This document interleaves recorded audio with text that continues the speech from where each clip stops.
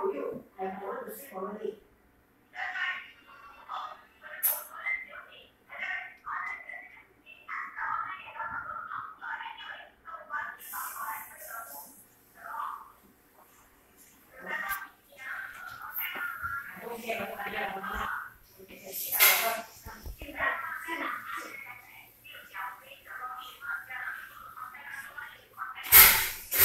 I'll make sure to not stay anymore.